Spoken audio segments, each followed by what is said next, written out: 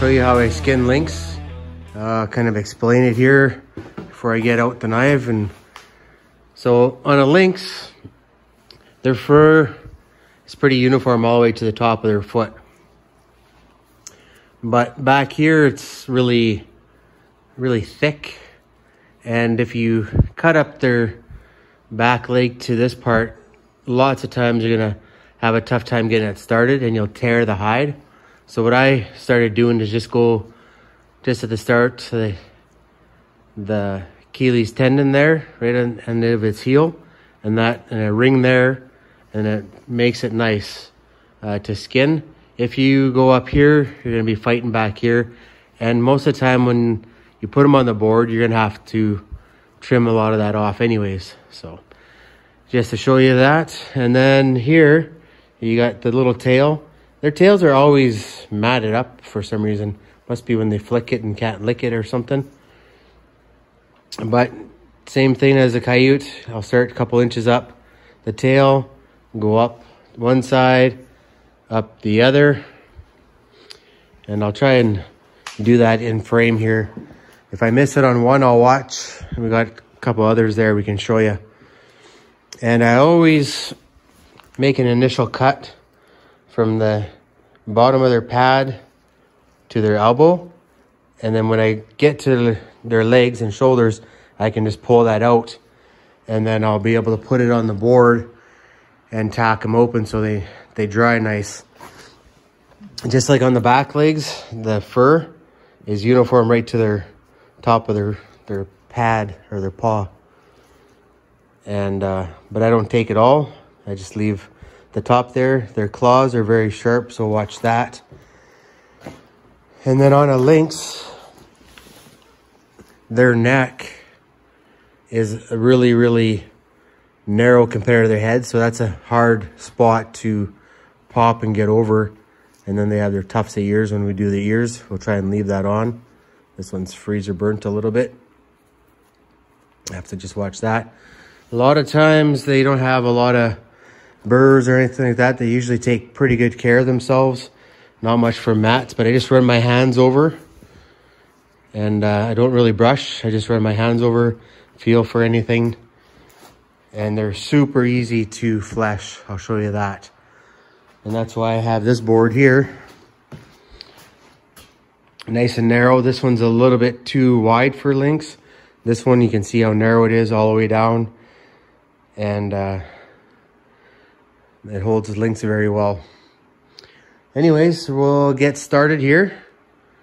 And this is how you skin a lynx. So here's the, the cuts. Just free it up. Same thing here.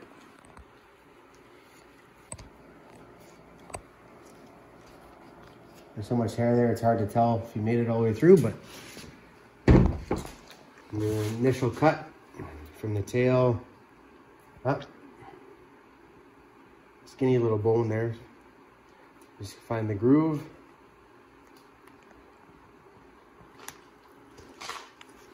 And then we're gonna go up the tail here, up the back of the leg, into our opening.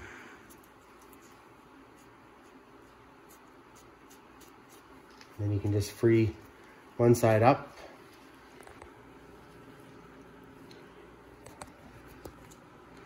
And then here, same thing.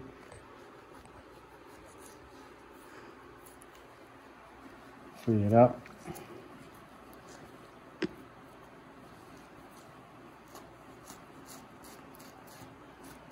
See how that, these peel real easy. Put your hand in there, work it so that it comes free. Peels right off. We'll do the same to the other side.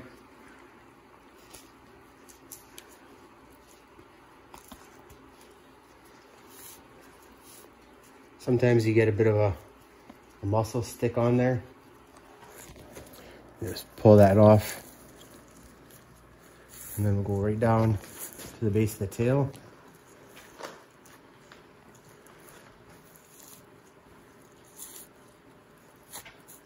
That up. Work your fingers through to the back here. Pull that down. Get your tail stripper.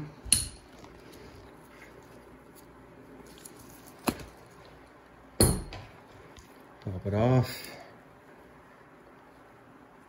Open the tip up. Just make sure it's, it's nice and good. And give this a little tug down. And then you don't need the crotch on there, so we'll just take the knife.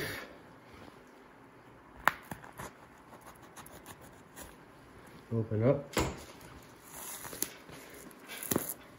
And then pull it down part ways. So now we're gonna make sure we open it up from the ankle to the elbow there.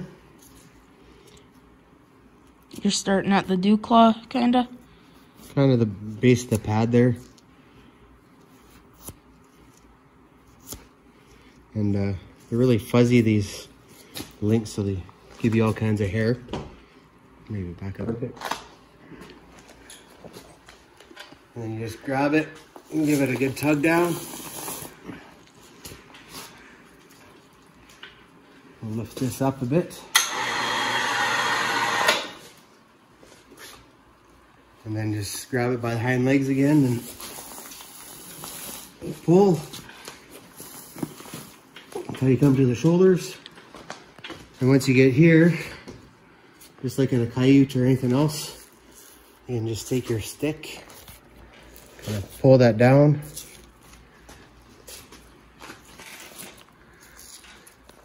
And once you get past the membrane here, you just push your stick through pull it down. Same thing on this side.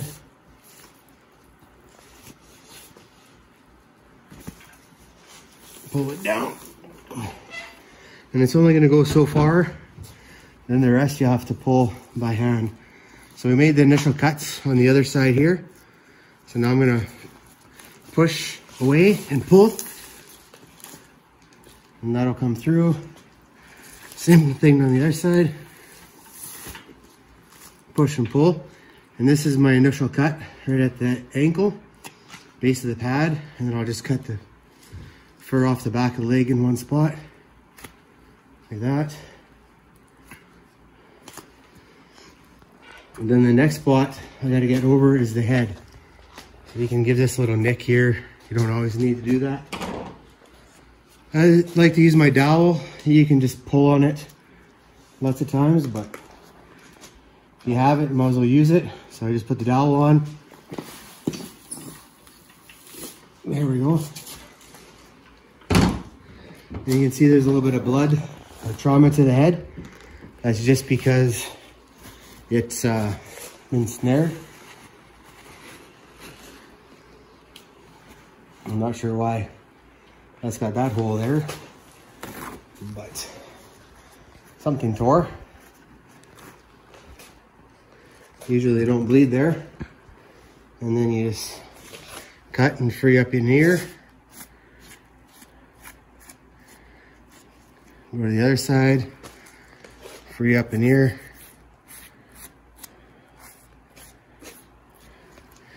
Next thing you're gonna come to is an eye.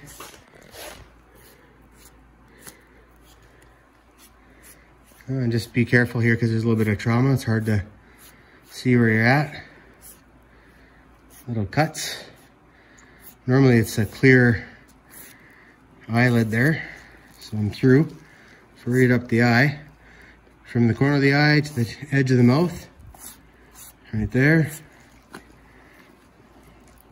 Free this side up.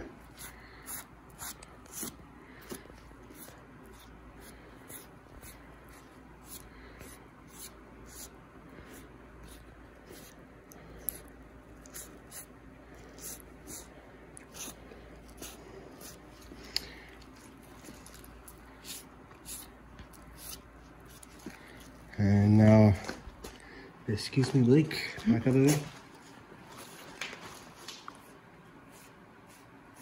So now I just free it down. Usually put my finger in the corner of the mouth Gives me something to pull on. Free up the bottom lip.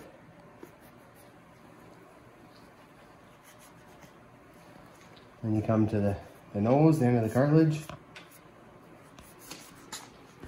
Just cut that straight off.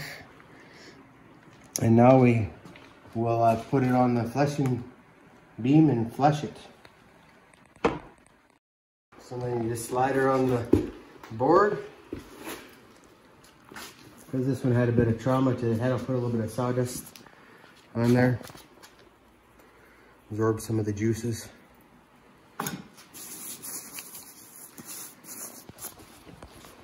My fleshing knife. You're using a narrower board, right? Than what you would for coyotes? Yep.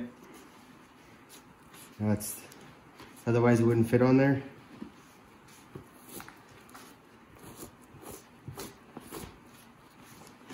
A little tricky because their nose is rounded to get started, but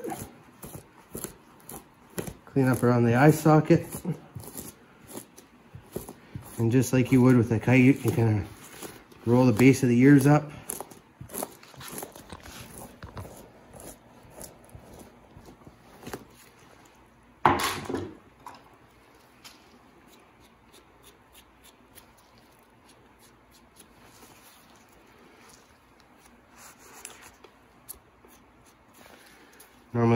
This juicy, so.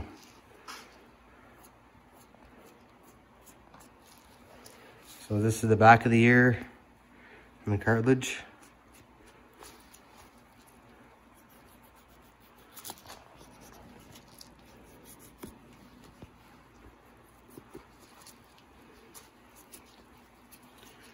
Clean that up after. On the other ear.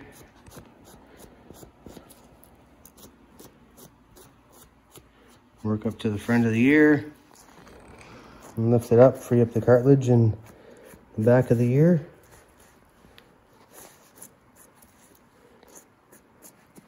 Sometimes getting a little dull, but here's the cartilage, the front part of the ear. I'll cut straight through there.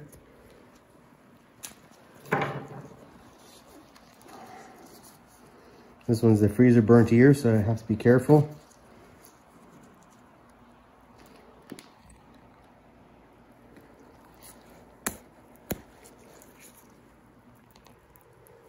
And just work it through until you get to the edge of the ear. Do it to this one as well.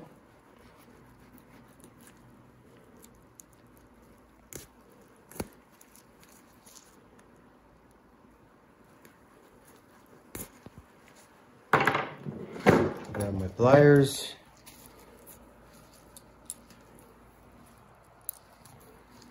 And then free it up. It goes in the bin. And this is the freezer burnt here, so it's gonna get tough right here. And it's starting to take the tough with it. Not much I can do about that. Once we come up to this side, and yeah, it's freezer burnt. Still a bit of a tough. Clean off my blade. And now it's just like the coyotes there. Start between the ears and work your way down the back. They don't have very much fat at all.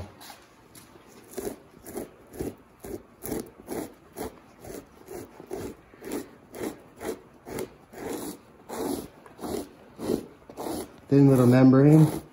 And just push that off.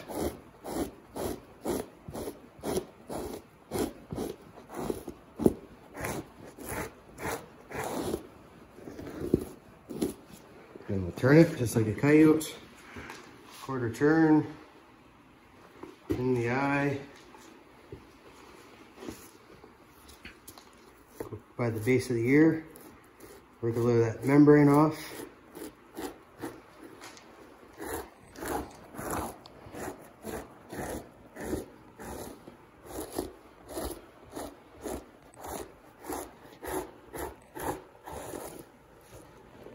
And they dry super quick lynx. The only thing I don't really like about lynx is when you go to turn them on a board, if you wait two minutes too long, they're hard to hard to turn. What I mean by that is you gotta have your timing down just right. Otherwise you could tear the hide. You're gonna leave the legs on. And you gotta put the legs through the neck hole. And the neck holes are small to start with.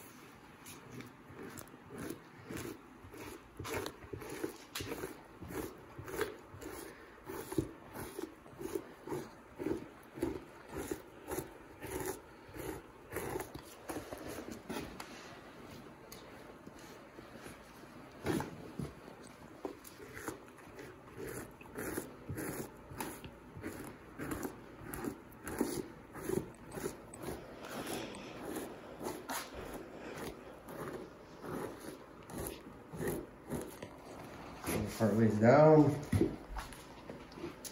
I'll center it up.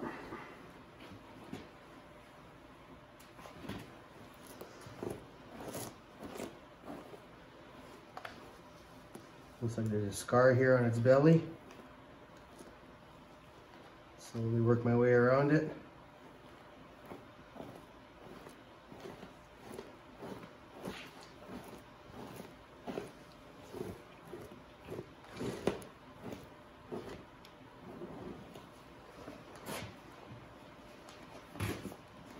and just push it off the end of the hide there.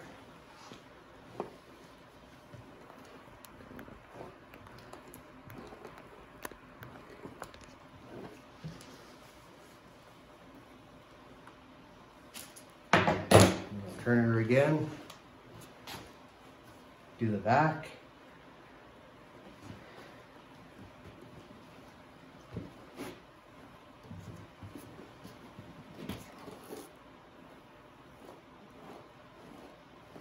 Another little scar there.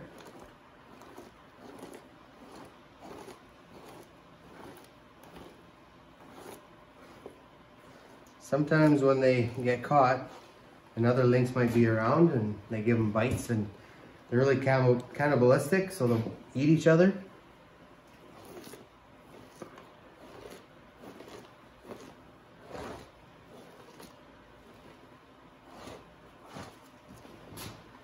Be careful. Really thin leather on these puppies, so you can see those are like bite marks where something's gone through. Probably got caught and somebody else gave it a nip and said, hurry up, let's go.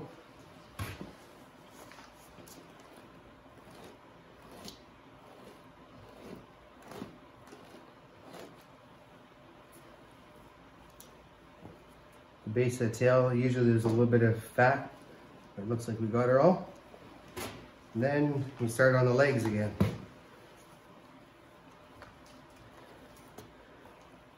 Just keep working that membrane down.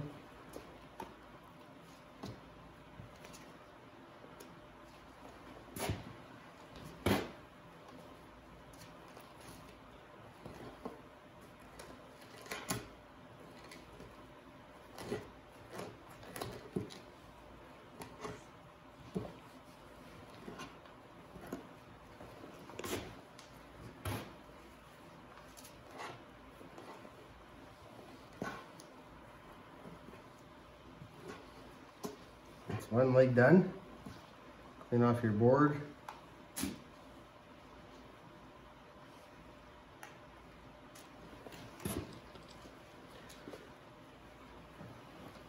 You can throw a little bit of sawdust on there to clean up that juice, but it's not bad.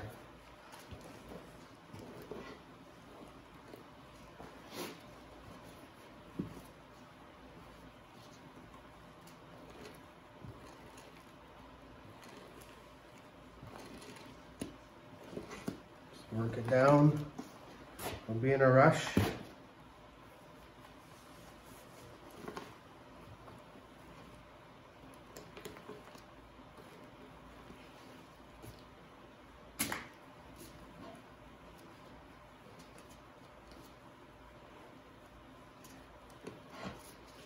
This thin little membrane, don't really have to take it off, it'll dry. I'm just being a little bit picky, I guess.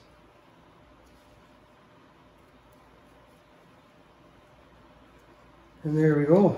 So that's flushed. Nice and clean. I'll put a stitch in here just to hold that together. And then we'll uh, put her on the board.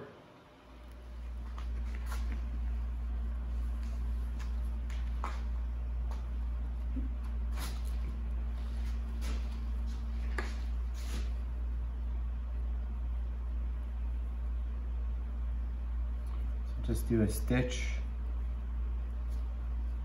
I always go from the first side out to the other side.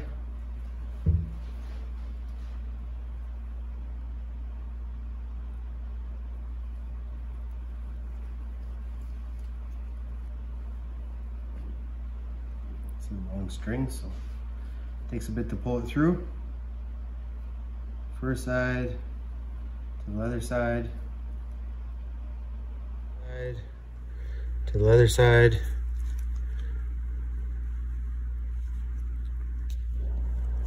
I'll get that on the other side that scar, I'll get some good good hide there.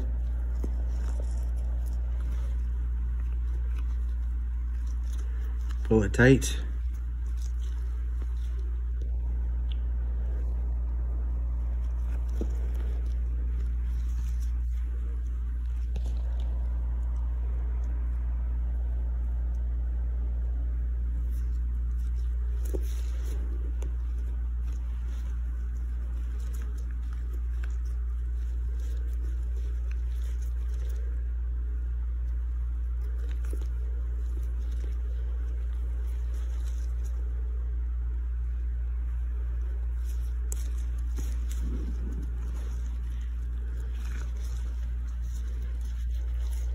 And then my last stitch there. Just poke through. Take the end, go around twice.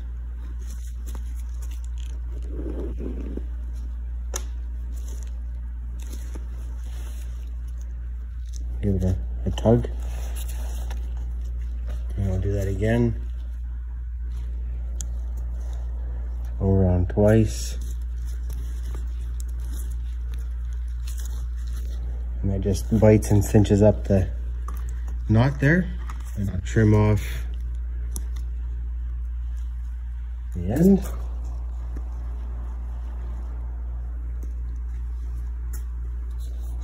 And now we'll get it on the board. So we're to put this on the board. Slide it on. Make sure it's centered I always like to take the roughs and try and poke them down. Just looks a little bit better once they dry. Or you turn them. Center of the nose, center of the lips.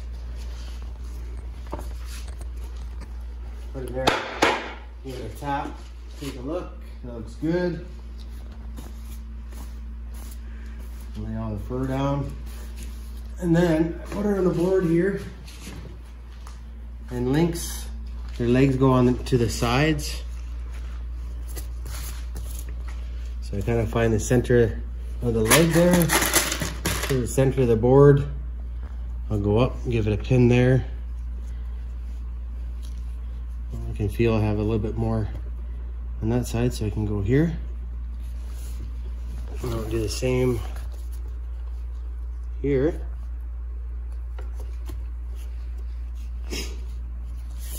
Flip it real quick and just pin that side. You don't have to pull it tight, tight, because it's going to shrink a little bit. Try and keep them so they're even.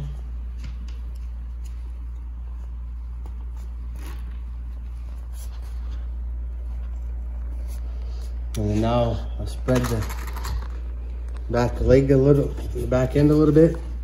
Just like I do my coyotes. Just put a nail there.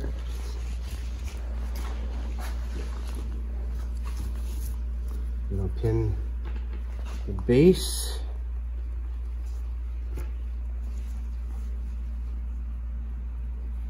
Make sure they're even. And I kind of lay the fur forward a bit and then I'll pin it.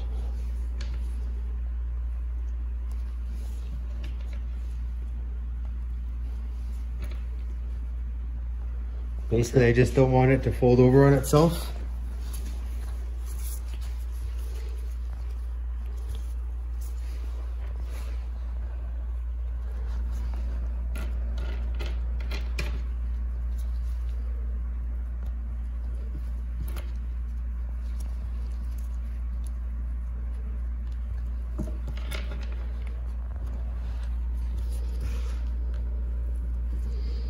And then just one pin in the tail here. It's already split right to the end.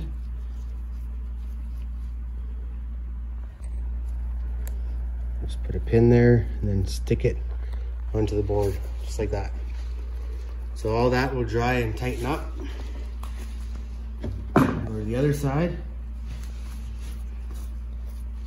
And take my knife and just lift up a little bit of loose skin there.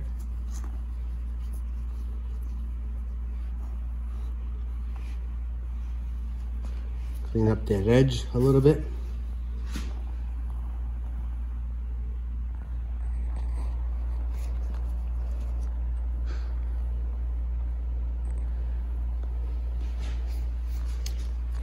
Makes it just a, little bit nicer.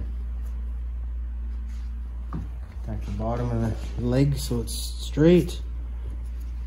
Trim off anything you need to trim there.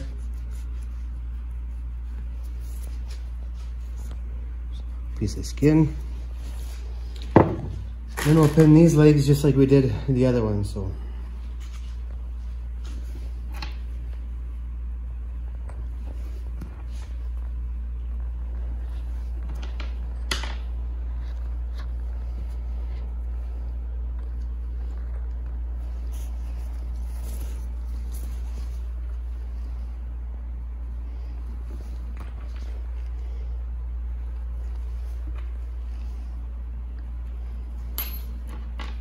A nail fell out.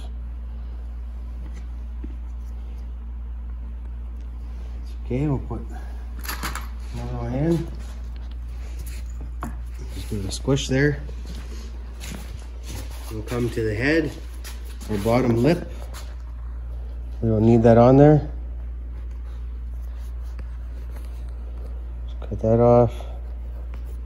Cut that off. Then the legs, take your cardboard. Same cardboards I use for coyotes. Same cardboard I use for the coyote uh, ears, I use for the lynx legs. I'm gonna open this up.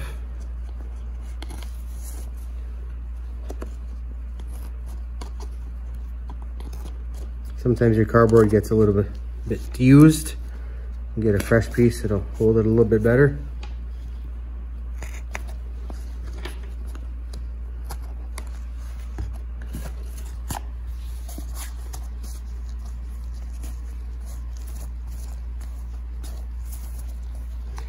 And whenever you turn a lynx, the legs stay on the inside. They used to want to have them on the outside, but they found through the years when they get drummed, they tear and rip the hide. So now they want it inside. And the reason why we leave it on, just to give that fur buyer a little bit extra leather or fur for that. So that's that part. We can put another pin here. Hold that open.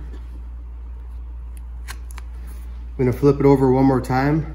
Or actually I'll go put it on the rack here and then I'll pin the ears up. So I'll bring some pins with me.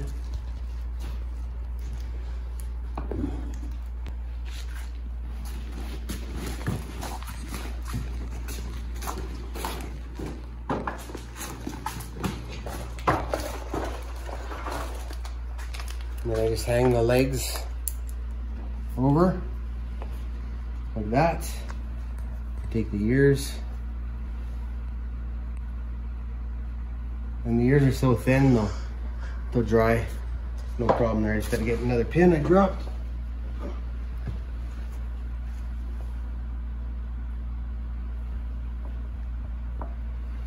And then when we turn it, we'll put it all back on the outside with the ears.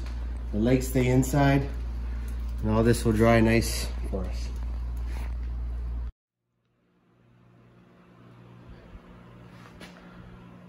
So I put these ones on the board about 20 minutes ago and they're starting to dry, stretch out a little bit there in the neck already, which is good. That's what we're after. They're pinned nice.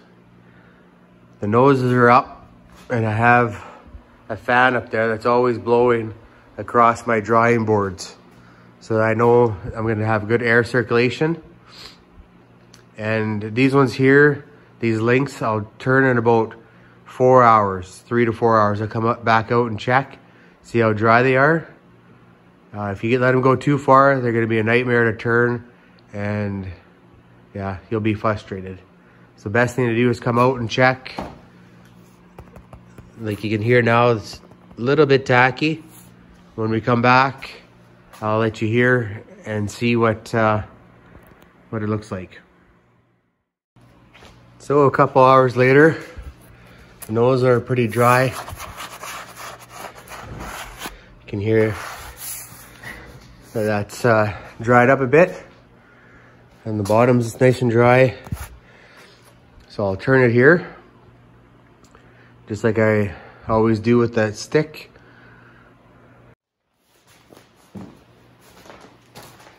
So just to make sure nothing spoils on me, I'll take a little borax.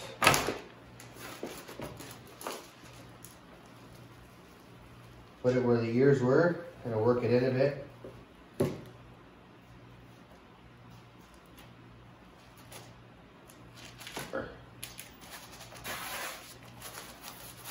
Just help cure it, get it on the lips a, a bit. Make a pocket, fill it up, rub it in there.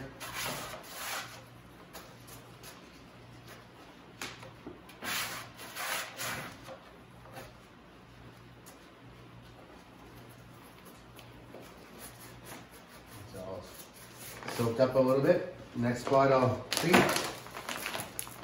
is in the armpits.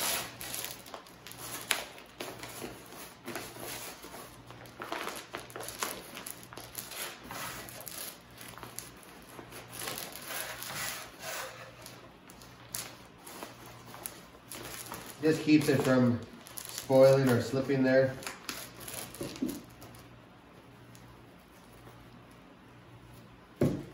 Doesn't take much, just rub it in.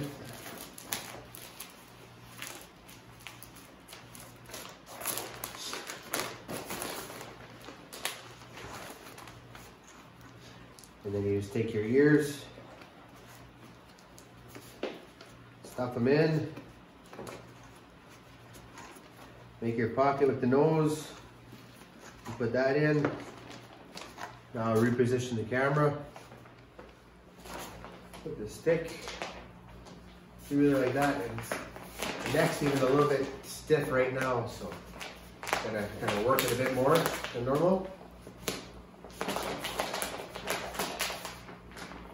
Once you get past the neck,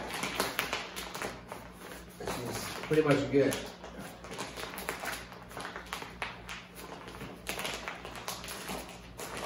And then the legs are gonna go in and get it tight again. This is a lot easier I find than turning it by hand. And then the belly part, just like in the other tight clips I've done before, turn that first and then turn the back legs down. So you don't turn the belly. And now I pretty much just slide it back on the board and I'll take the front legs and push them down with my fingers so it ends up nice like this one here.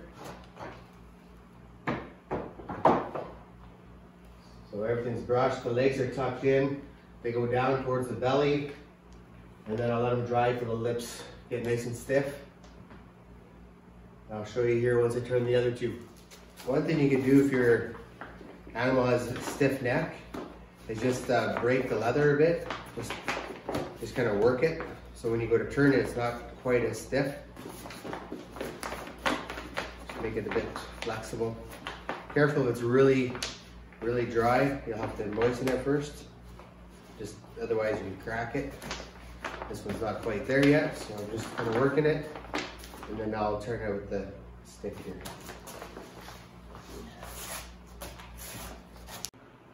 After you get them on the board, you can give them a little brushing. The ruffs right here, I like to get them nice and pointed down, take a look at it, make sure it's centered on the board. Brush them out.